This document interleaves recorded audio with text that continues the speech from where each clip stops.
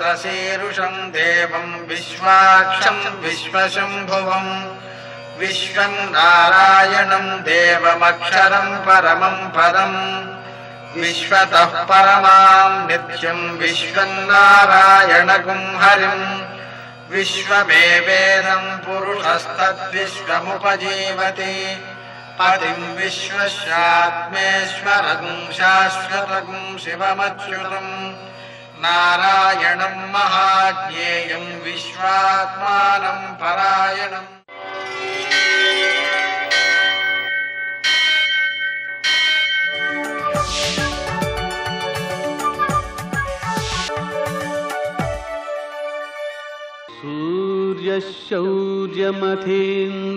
सूर्यशौर्यमथेन्दुरिन्द्रपदवी सन्मङ्गलं मङ्गलम् लक्ष्मीं क्षीरसमुद्रराजतनयां श्रीरङ्गधामेश्वरीं दासीभूतसमस्तदेववनितां लोकैकदीपाङ्कुरां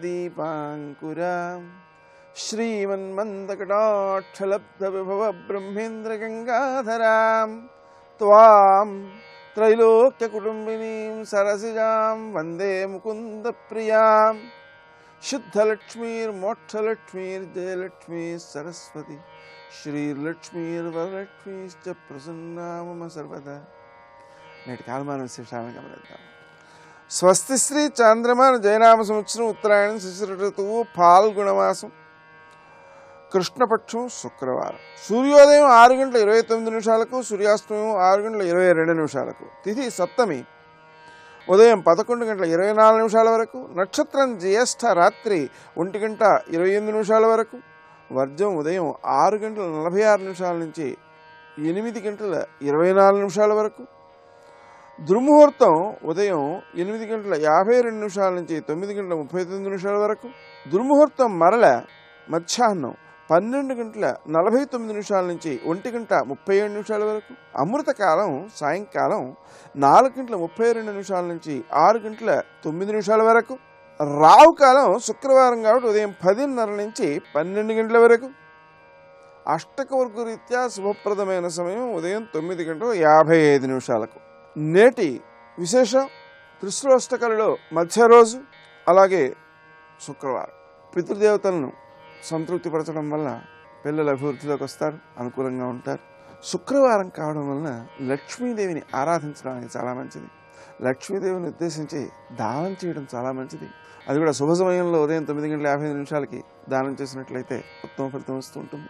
శుక్రవారం లక్ష్మీ అష్టోత్తర శతనామ స్తోత్రాన్ని నూట ఎనిమిది సార్లు పారాయణ చేయడం లేదా కనకధారా స్తోత్రాన్ని పారాయణ చేసుకోవడం ఇవన్నీ కూడా చాలా ఉత్తమ ఫలితాలను ఇస్తాయి.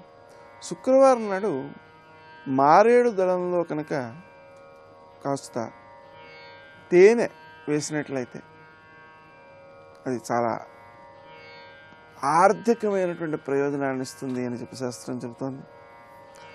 డబ్బుకు లోటు ఉండదు అటువంటి వాళ్ళకి అలా చేస్తున్నటువంటి వాళ్ళకి. అలాగే శుక్రవారం కావడం వల్ల అమ్మవారిని పూజ చేసుకోవడం పాయసంబమైనటువంటివి నివేదన చేయటం ప్రసాదం స్వీకరించటం ఇవన్నీ కూడా ఉత్తమ ఫలితాలను ఇస్తాయి.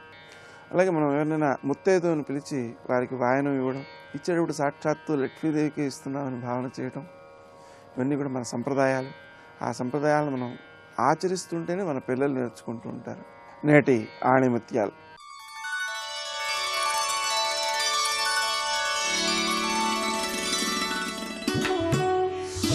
నీలో నిద్రాణమైన శక్తిని మేల్కొల్పితే నీ ప్రతి చర్య స్వచ్ఛంగా శక్తివంతంగా ఉంటుంది.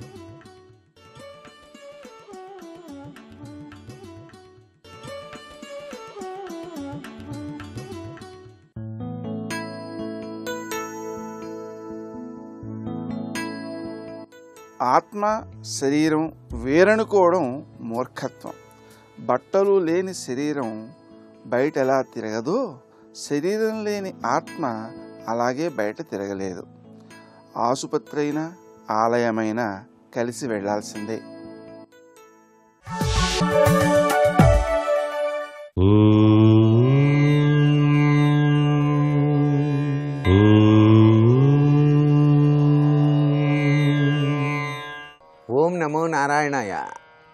నమ శివాయ. శ్రీమాత్రే నమ. సప్తమీ తిథి సూర్య భగవానికి చాలా ప్రీతివంతమైనటువంటిది. ఆ సూర్య భగవానుడు పరమాత్మ స్వరూపంలో ఈ సృష్టినంతటినీ కూడాను పాలిస్తున్నాడు. సాక్షాత్తు నారాయణ స్వరూపుడు సవిత్రుడు.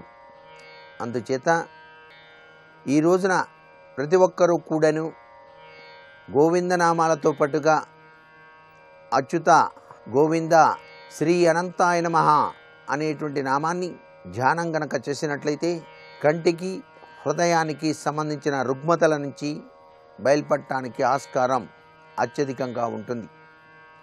ప్రతి మానవుడు ప్రతినిత్యం కూడాను స్నానానంతరం విభూతి ధారణ చేసి నుదుట బొట్టు ధరించి మెడలో రుద్రాక్షమాల వేసుకొని సూర్యోపాసన చేయాలి. సూర్య భగవానికి అర్ఘ్యప్రదానం చేయటం సర్వే సర్వత్రా కూడాను శుభదాయకవంతమైన ప్రభావాన్ని కలిగింపచేస్తుంది. సూర్య భగవానికి ఎవరైతే నిత్యం కూడా అర్ఘ్యాన్ని ఇవ్వడం జరుగుతుందో వారి యొక్క కార్యక్రమాలన్నీ కూడా నిర్విఘ్నంగా నెరవేర్చేందుకు ఆ తరణి తప్పనిసరిగా సహకరిస్తాడు సుమా. సాక్షాత్తు శ్రీరామచంద్రమూర్తి సూర్యోపాసకుడే. సాక్షాత్ కృష్ణ పరమాత్మ కూడాను నిత్యం సూర్యోపాసన చేసి చాలా చక్కటి యోగవంతమైనటువంటి సలహాల్ని అందరికీ పంచినటువంటి పరమాత్మ స్వరూపం. అందుచేత సూర్యోపాసన చేసేటువంటి వారికి ఆరోగ్యం ఐశ్వర్యం తప్పనిసరిగా కలిగి తీరుతాయి కాబట్టి జయస్సదా సవితృమండల మధ్యవర్తి నారాయణ సరసిజాసన సన్నివిష్ట. కేయూరవాన్ మకర కుండలవాన్ కిరీటి హరిహర ఉపధృత శంఖచక్ర అంటూ ఆ స్వామిని ధ్యానం చేయాలి. సూర్య నమస్కారాలు చేసేటువంటి వారికి ఎల్లప్పుడూ కూడా ఆరోగ్యం సర్వే సర్వత్రా చక్కగా ఉండి తీరుతుంది. ఆరోగ్యం భాస్కరాది చేత్ అనేటువంటి విషయంలో దాగిన పరమార్థాన్ని అర్థం చేసుకొని కేవలం సప్తమి తిథే కాదు ప్రతినిత్యం కూడాను ఆదిత్య హృదయ పారాయణ సూర్య నమస్కారాలు సూర్య మంత్రాన్ని అనుష్ఠానం చేసేటువంటి ప్రతి వ్యక్తి జీవితం ఆరోగ్యప్రదమైనటువంటి ప్రభావంతో విరాజిల్లుతుంది అని చెప్పడంలో ఏమాత్రం సందేహం లేదు. మానవుడై పుట్టిన ప్రతి ఒక్కరూ నిత్యం కూడాను దైవ ఉపాసన కలిగి ఉన్నట్లయితే చివరి దశలో చాలా చక్కటి యోగవంతమైన మోక్షాన్ని పొందటానికి ఆస్కారం ఉంటుంది సుమా. సర్వే జనా సుఖినో భవంతు.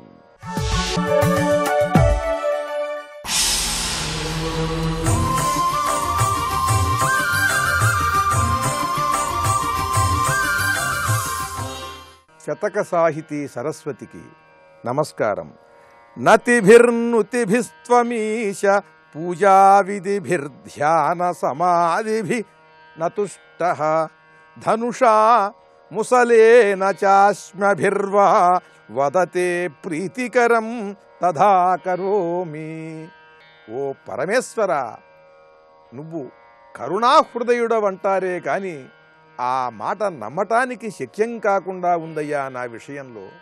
నువ్వు కరుణాసముద్రుడివైతే నన్ను ఎందుకని ఉద్ధరించటానికి రావు? నతిభి నమస్కారాలు చేస్తుంటే ఈ నమస్కారాల చేత నువ్వు సంతృప్తి చెందటం లేదు. నుతిభి ఎన్నెన్నో స్థుతులు చేస్తున్నాను.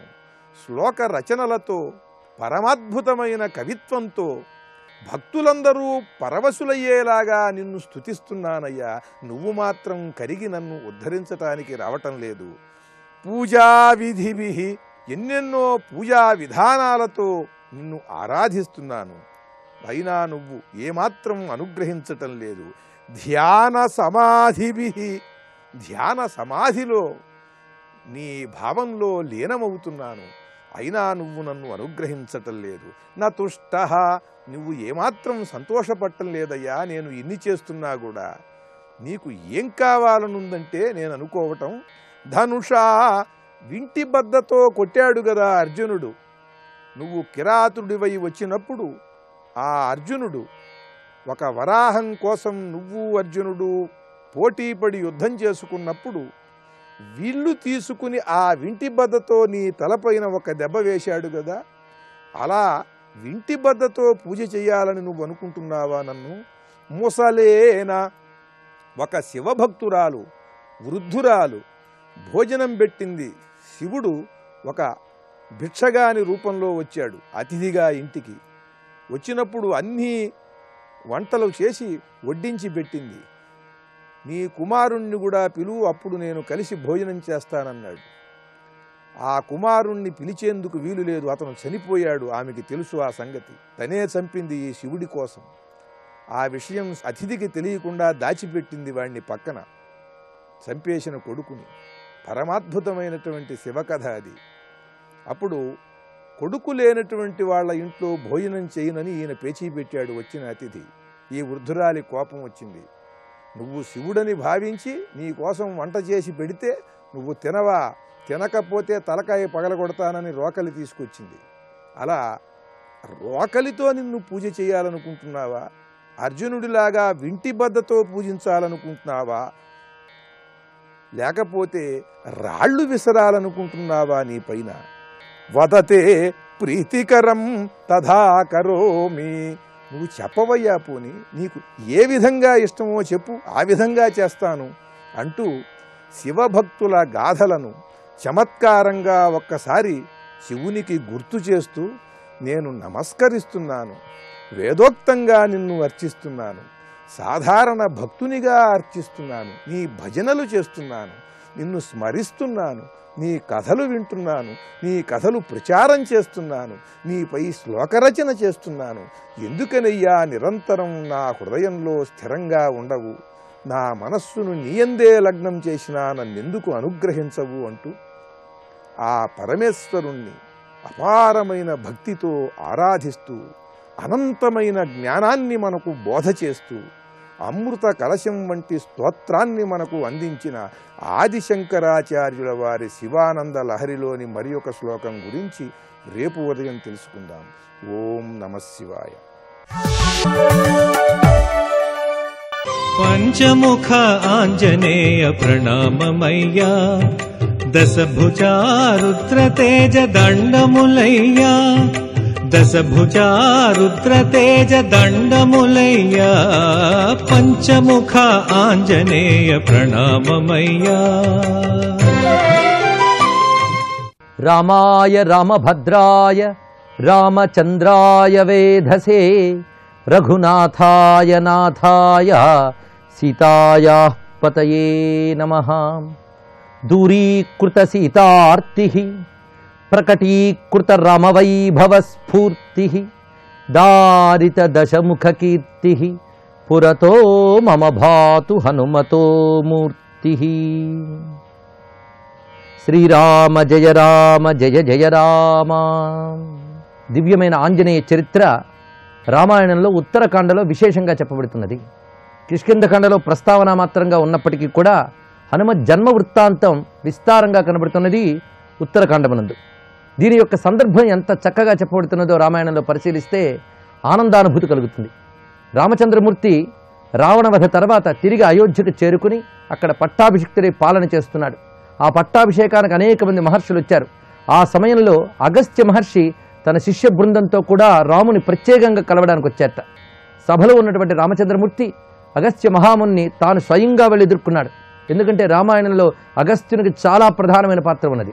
అరణ్యకాండలో కూడా రామచంద్రమూర్తి అగస్త్యుడు ఎక్కడా అని వెతుక్కుంటూ పెడతాడు ఇంకే మహర్షిని వెతుక్కోలే? పేరు చెప్తూ ప్రతి మహర్షిని అగస్త్యుని గురించి అడుగుతూ వెళ్ళింది ఆయన వద్దకే. అదేవిధంగా ఆయన ఇచ్చినటువంటి అక్షయ తూనీరములు ధనుస్సు నారాయణమయమైన ధనుస్సునే రామచంద్రమూర్తి స్వీకరించాడు. అంతేకాదు యుద్ధకాండలో కూడా సరిగ్గా రావణవధికి పూర్వం ఆదిత్య హృదయాన్ని అగస్త్యుల వారే అనుగ్రహించారు. ఈ విధంగా అగస్త్యునికి రామునికి ఉన్నటువంటి అనుబంధం మనకి స్పష్టంగా కనబడుతూ ఉంటుంది. రామాయణంలో ముగ్గురు మహర్షులు చాలా ప్రధానం. రామాయణంలో వశిష్ఠుడు వారు విశ్వామిత్రుడు అగస్త్యుడు. వీళ్ళు రామావతార కార్యంలో కలిసినటువంటి వారు. అందుకే ఇక్కడ అగస్త్య మహామునికి చాలా ప్రాధాన్యం ఉన్నది. ఆ అగస్త్య మహాముని ఇక్కడ దక్షిణ దేశానికి చెందినటువంటి అగస్త్యులని ప్రధానంగా చెప్తారు. ఎందుకంటే ఉత్తర భాగం నుంచి దక్షిణం వైపు వింజగర్వాన్ని అణచి వచ్చాడు అగస్త్య మహర్షి. అందుకు మాటి మాటికి ఆ దక్షిణ ఋషి అనేటువంటి మాట కనబడుతూ ఉంటుంది. అలాంటి అగస్త్యుల వారితో మాట్లాడుతూ ప్రసంగవశాత్తు అనేక విషయములు ప్రస్తావన తెస్తాడు రామచంద్రమూర్తి. ఆ సమయంలో చుట్టూ అనేక మంది రాజులు పండితులు ఋషులు పౌరులు అందరూ కూర్చుని ఉంటారు వారి మధ్య ఈ చర్చ జరుగుతూ ఉంటుంది. రాముడు అడగడం అగస్త్యుల వారు చెప్పడం. ఈ సందర్భంలో ఒక చక్కటి ప్రశ్న వస్తుంది. ఓ రామా నువ్వు సాక్షాత్తు నారాయణుడివి. నువ్వు చేసిన పనులివి. ఈ పనులు చాలు నువ్వు నారాయణుడివని చెప్పడానికి. అంటే రామాయణం మొత్తంలో కూడా రామచంద్రమూర్తి నరుని వలె ప్రవర్తించాడు. ఎందుకంటే నరవానరుల చేతుల్లోనే రావణునికి చావు రాసిపెట్టి ఉంది గనక నారాయణుడు నరుని వలె ప్రవర్తించాడు అక్కడ. అది ఆ నరుని వలె ప్రవర్తించడం అనేటువంటిది అంతా కూడాను రావణవధతో పూర్తయిపోయింది. కనుకనే ఋషులు ఇప్పటి నుంచి నువ్వు నారాయణుడని స్పష్టం చేశారు. అంతవరకు ఋషులకు తెలుసు రాముడికి తెలుసు. ఇద్దరు బయటపడకుండానే పని చేసుకుంటూ వచ్చారు. ఇప్పుడు నారాయణుడని స్పష్టమైపోయింది. అందుకే ఆ నిండు సభలో రామచంద్రమూర్తి యొక్క దివ్యావతార లీలలన్నింటినీ కూడా ఒక్కసారి అగస్సులు వారు ప్రస్తుతించి ఆది నారాయణ స్వామి ఒకట తెలిసే అరయ నరుడవే నీవు పట్టాభిరామ అంటాడు అగస్త్య మహర్షి. ఇక్కడ ఉత్తర రామాయణాన్ని మన తెలుగులో రచించిన వారు అరుదు. సాధారణంగా రామాయణం రచించిన వారు చాలామంది ఉన్నారు. ఆ రామాయణ మహాకవ్య ప్రభావం ఏంటో కానీ ప్రపంచంలో అన్ని నాగరిక భాషల్లోనే రామాయణం ఉన్నది. అన్ని మతాల వారు రామాయణం రాసుకున్నారు. విశేషించి మన తెలుగులో కూడా అనేక రామాయణాలు ఉన్నాయి. కొన్ని రామాయణాలు ప్రసిద్ధంగా కూడా భాస్కర్ రామాయణం మొల్ల రామాయణం కవి సమ్రాట్ విశ్వనాథ సత్యనారాయణ గారి కల్పవృక్షం ఇవన్నీ విశేషం. కానీ బాలకాండ నుంచి యుద్ధకాండ వరకు రచించిన వాళ్ళు ఎక్కువ. అయితే పట్టాభిషేకం వరకే పారాయణ చేస్తారు తర్వాత ఉత్తర రామాయణం పారాయణ చేయరు కదా ఎందుకని కొందరికి ప్రశ్న రావచ్చు. దానికి సమాధానం చెప్పుకోవాలి. పారాయణకి పట్టాభిషేకంతో చాలు అని చెప్తారు. ఉత్తర రామాయణం పారాయణం చేయడం వల్ల మరికొన్ని సత్ఫలితాలు చెప్తారు. అయితే ఉత్తర రామాయణంలో సీతావియోగాదులు ఇవన్నీ చెప్పబడుతున్నాయి గనకనే ఉత్తర రామాయణ పారాయణ తర్వాత మళ్ళీ బాలకాండతో మొదలుపెట్టి సీతా కళ్యాణం వరకు చదువుకోవాలని సంప్రదాయం. కనుక ఉత్తర రామాయణం కూడా పారాయణం ఉంది కానీ విధానం ఇది. ఇది తెలుసుకోవాలి. ఉత్తర రామాయణం ఉత్తరాఖండ పైగా పట్టాభిషేక ఘట్టం తర్వాతవన్నీ జరగబోయే కథను రచించాడు గనక పట్టాభిషేకంతో చేసిన సంపూర్ణమనే భావాన్ని అక్కడి దాకా వాల్మీకి నిబద్ధించాడు ఆ కూర్పే వేరు. అందుకు ఉత్తరాఖండ యొక్క వాల్మీకి కృతాన్ని అంటే వాల్మీకి రచించాడన్న విషయాన్ని మనం అంగీకరిస్తూ ఈ విషయంలోకి వెళుతున్నాం ఈ విధంగా రామచంద్రమూర్తి సాక్షాత్ ఆదినారాయణుడు అని చెప్తూ నువ్వు ఆదినారాయణుడైతే అనేక మంది దేవతలు వానరులుగా వచ్చారయ్యా. నీకు తెలియంది కాదు. నేను ఈ సభలో చెప్తున్నానన్నారు అగస్త్యుల వారు.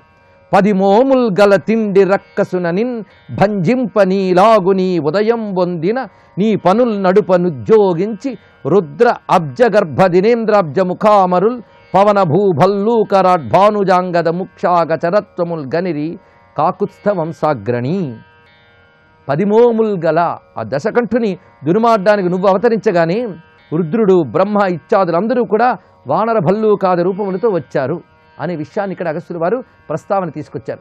ఇక్కడ మనం చదివిన తెలుగు పద్యం.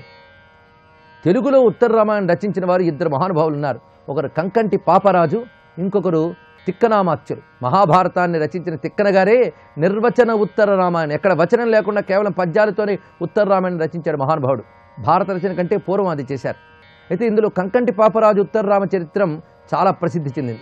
అలాగే సంస్కృతంలో భవభూతి ఉత్తర రామచరితం అనే నాటకాన్ని చాలా అద్భుతంగా రచించారు. ఇది సంస్కృత సాహిత్యంలో ఒక మణిపూస. ఇలాగ ఉత్తర రామాయణానికి మంచి కావ్యస్థాయి ఉన్నది. అయితే కంకంటి పాపరాజు గారి రచన చాలా చక్కగా ఉన్నది. తిక్కన గారిది కూడా మహాద్భుతమే. కానీ ఏదో ఒకటే మనం ఇక్కడ చెప్పుకోవడం సాధ్యమవుతుంది కనుక వాల్మీకి రచనతో పాటు మనం కంకంటి పాపరాజు గారి తెలుగు రచన కూడా తీసుకుంటే ఆ తెలుగు పద్యాల సొగసును కూడా గ్రహించవచ్చు. ఒక తెలుగు కవిని స్మరించిన వాళ్ళం కూడా అవుతాం. తిక్కన గారిని స్మరించుకోవడానికి ఎలాగూ భారతం ఉంది. కానీ పాపరాజు గారిని స్మరించుకోవాలంటే ఇదే మనకు దిక్కు.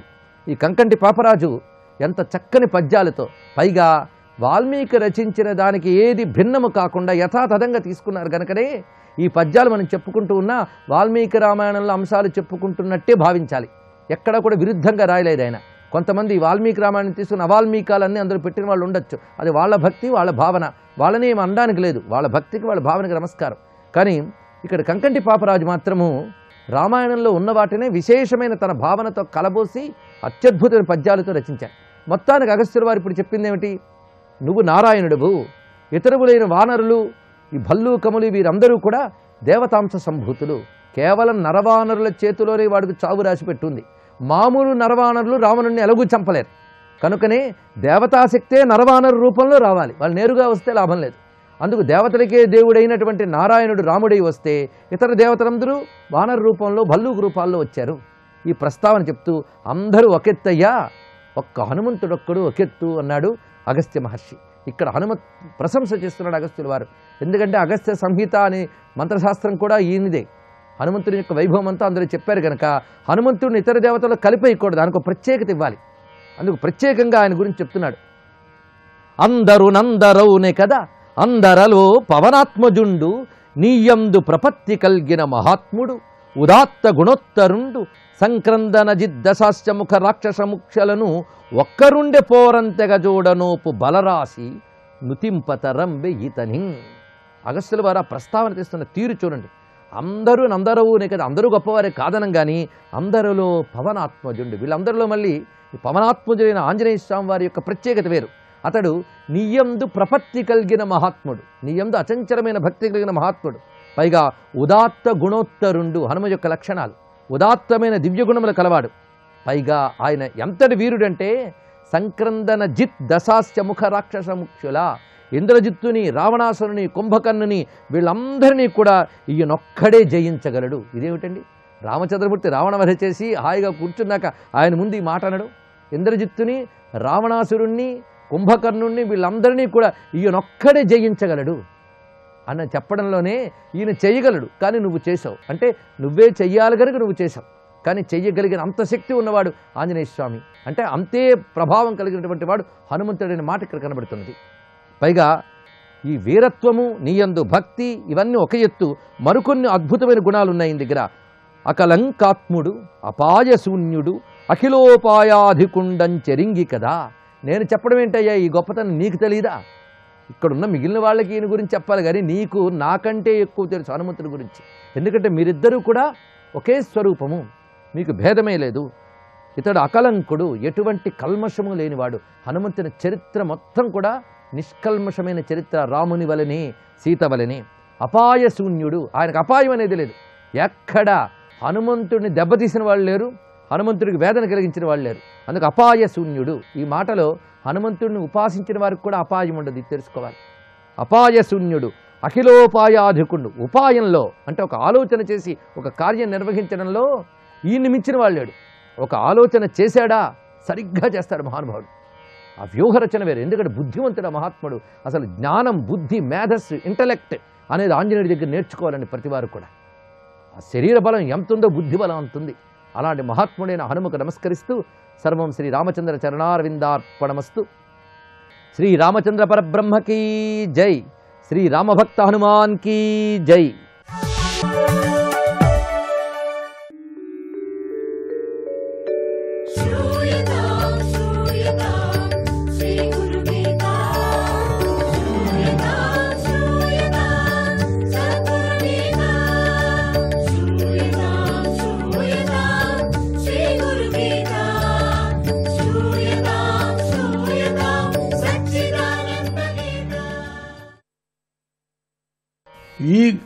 గ్రంథంలోని మహత్తరమైన శ్లోకాల్లో ఇది ఒకటి. ఇక్కడ నందనంచ యదానందాత్ అన్నారు. అంటే ఆ గురువు గారి ఆనందం తనలో వ్యాపించటం వల్ల జగత్తులో ఆనందం అనేది కనిపిస్తుంది అని అర్థం. ఇదేం చిత్రం? ఇది సుఖమని ఇది దుఃఖమని మనకు ఎలా తెలుస్తుంది? అసలు ఈ సుఖము ఈ దుఃఖము అనేవి ఎక్కడి నుంచి వస్తున్నాయి? ఈ విషయంలో ప్రతి మనిషి విమర్శించుకోవలసినది ఒకటి. సుఖం వస్తే హాయిగా ఉందని అది మళ్ళీ మళ్ళీ రావాలని కోరుకుంటూ ఉంటాం కదా. అంతేగాని ఈ లడ్డు వల్ల నాకు సుఖం ఎలా వస్తుందని ఎక్కడి నుంచి వస్తుందని ఆలోచించం. మనకు అది అక్కర్లేదు. సుఖపడితే చాలు. సుఖం వచ్చినప్పుడు హాయిగా అనుభవించకుండా ఈ వాదాలంతా ఎందుకయ్యా అంటారు చాలామంది. అనుభవిస్తే పోలే పనిలేక ఈ లడ్డు చాలా బాగా ఉంది తినటానికి. ఎంత మధురంగా ఉందో అని తినేస్తాం. ఇది ఎవరు కట్టినవాడు? ఇది ఎక్కడి నుంచి వచ్చింది? దీంట్లో ఏమేమి వేశారని అడగరే అడగరు. లడ్డు ముగించడం ఇంకో లడ్డు ఉంటే చూస్తారా అని చెప్పడం. అలాగే దుఃఖం వస్తే అది పోవాలని ఏడుస్తామే కానీ ఇది నాకెలా అంటింది అని ఆలోచించం. దుఃఖం గురించి మళ్ళీ మళ్ళీ ఆలోచించడం ఎందుకండి అంటాం. పోయింది ఏదో పోయిందండి. ఎందుకు ఊరికే ఊరికే దుఃఖాన్ని? ఆ దుఃఖం మళ్ళీ ఆలోచించుకొని తెచ్చుకోవటం ఎందుకు అని. అంటే ఇంతకు మనం చేయాల్సిన పని ఏంటి అండి? రుచించినటువంటి తీపుని లడ్డుని ఎక్కడి నుంచి వచ్చిందని తెలుసుకోవాల్సిన పని లేదు. చాలామంది తెలుసుకోవాలా? దుఃఖం ఎందుకు వచ్చిందని తెలుసుకోవాల్సిన పని లేదు. కానీ తెలుసుకోవాలా? అనటానికి మనం చేయాల్సింది ఇది కానే కాదు. రుచించటము దుఃఖాన్ని తట్టుకోవటము దుఃఖం ఎక్కడి నుంచి వచ్చిందో మళ్ళీ మళ్ళీ యోచన చేయటము.